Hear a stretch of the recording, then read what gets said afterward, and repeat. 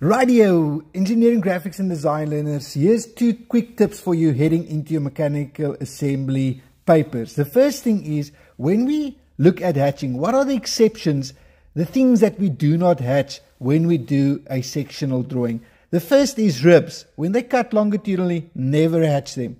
Any other component that's used to fasten things together, a shaft, a washer, a nut, a bolt, a key, keyway, again a shaft. Those items, when cut in its length, is never hatched or sectioned. All right.